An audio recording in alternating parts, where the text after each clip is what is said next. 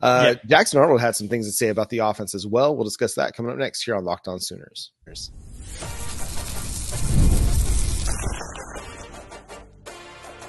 You are Locked On Sooners, your daily podcast on the Oklahoma Sooners. Part of the Locked On Podcast Network, your team every day.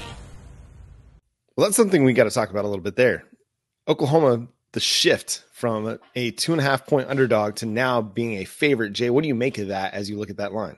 Yeah, the transition of that line tells me that it all but confirms that Missouri is going to have some injury issues going into this game. We know that Brady Cook came out against Alabama, and it's funny because the social medias was pointing out they're like, "Yeah, I think he broke his hand." I'm like, "What?" he broke his hand. Kind of look at the play, like, oh, it does look like he may have broken something. So if that's the case, that's a very good chance that Oklahoma. That's probably why the line shifted itself. It's the injuries. Plus, they're starting ro- uh, running back uh, Noel is looks like he's hurt as well. So Missouri's kind of going through the the ringer right now with a whole bunch of injuries. That's uh, kind of unfortunate that it populated at this time of the season. But this is also the time of the year when injuries start to hit people. It's it's the time of the year when you start to deal with a lot more of these and kind of it, it, sucks. Um, you, you, lose Brady Cook and Nate Noel, but we'll we'll see what it looks like uh, on Saturday when Oklahoma comes to town.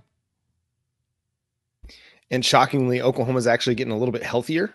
Yeah, I know, right? Season rolls on. It, because we had all of our injuries, our big injuries in the first half of the season. Now it's like everything's coming back for Oklahoma. Jackson Arnold let it slip that maybe a couple guys will be back for the Sooners.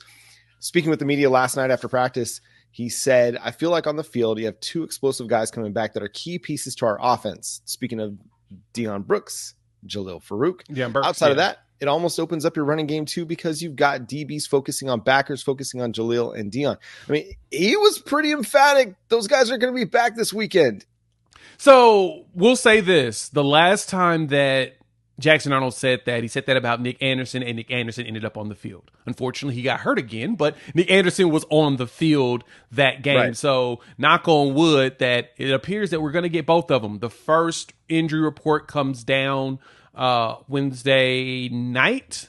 So, it'll be sometime in the evening. We'll get, we'll actually, well, which is later on tonight. Now, think about it. Uh, we'll find out. So, we'll be able to talk about that sometime later this week when the first couple of injury reports drop. But if the injury report drops and it shows on that report that they are probable, I expect them to play.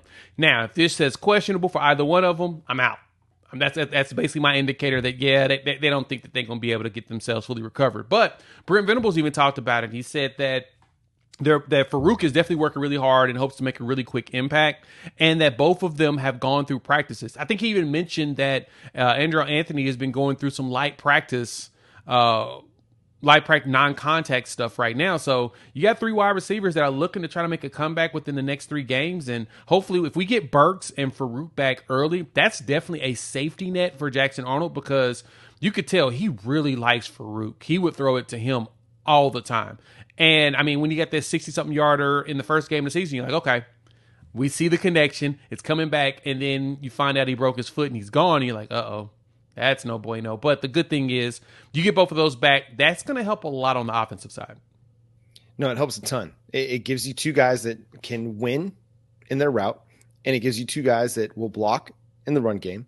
It, yep. it gives you two guys that defenses have to account for for some of the good things that Brenen Thompson and JJ Hester have done this year, or Jacob Jordan. They're not guys that you have to, you know, give extra help on defense to cover. They're not yeah. guys that you have to be overly concerned about. Jalil Farooq and Deion Burks have legit college football production. I mean, it, it may not be thousand yard receiving seasons, but they are dynamic weapons in the passing game that can hurt you if you're not fully aware of where they're at. And so I think getting those two guys back, it's going to help open things up for the offense. It's going to give Jackson Arnold guys that he trusts maybe a little bit more to catch the football because they're, they're a little bit more sure handed than, than what yep. we have and gives them guys that are going to be open when they're supposed to be open. So I, am looking forward to that. Uh, Jackson Arnold also talked about just the, the, um, the move from Seth Littrell to Kevin Johns, and, and I think yeah. he spoke more confidently about where his role is in the offense because of what Kevin Johns has been able to do for him over the last few weeks. Yeah, as the the quarterback coach Kevin Johns, he said that initially he didn't want to step on any toes, and you know he he would help, but he wouldn't really be as hands on. And now he's fully hands on, and it, it, he can tell the difference in that. It helps him with his confidence and everything at the position, which makes sense. When you got a young quarterback, you've got to be always hands on, and at the same time. You got to understand that he's going to be able to make some changes out there and make some adjustments, which I'm proud of Jackson Arnold. He's he he's done a lot better in recognizing defenses. I mean, we talked about it the first week of the season. He made a change to the play and threw the ball to uh, Deion Burks for a touchdown. And that was all, you know, on Jackson Arnold. He saw what the defense was giving him. He made an adjustment, and boom, the route changed. And there you go. There's a touchdown. And he did that similarly with the Brenen Thompson deep touchdown. You could see him look to the side. It looked like there, there's, there's something with the defense. He made an adjustment. Boom. Next thing you know, Brenen Thompson's deep for a touchdown. So the good thing is that Jackson Arnold is the confidence is now there for him.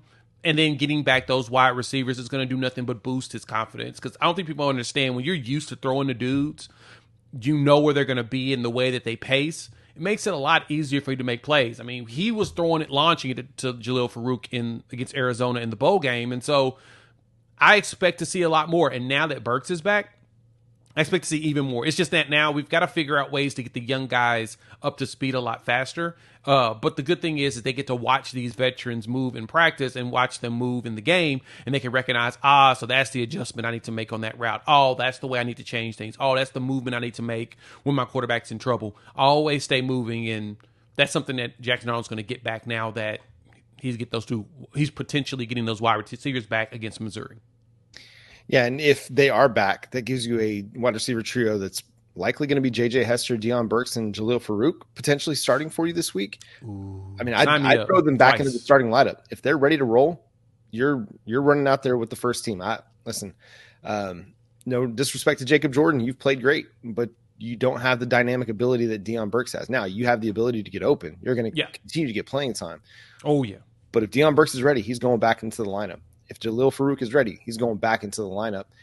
And Jackson Arnold is going to play with much more confidence with those guys on the field. You go four wide, Jacob Jordan, you're my first wide receiver off the bench. You're going right there into that other slot spot opposite of Deion Burke. So it listen, I, I'm I'm gonna try not to get too overhyped or too overexcited about it until I see these guys on the field. But you listen to Jackson Arnold talk, and he talks like they're gonna be back and they're gonna be available. And you hear the the confidence in what he says and the, almost the relief in what he says. Yeah, he sounds relieved. Back. And listen, we've talked about it before. Nobody's going to make excuses for Oklahoma on the injury front. Nobody's going to feel sorry for him. But it does make a difference when you have the guys that you're expecting to have on your offense with the first team. It makes a difference for everybody. It gives everybody a little bit of a boost. And so it's an exciting potential development that comes this Saturday as Oklahoma makes the trip to Missouri. What did Brent Venables say about this Missouri game? We'll discuss coming up next here on Locked On Sooners.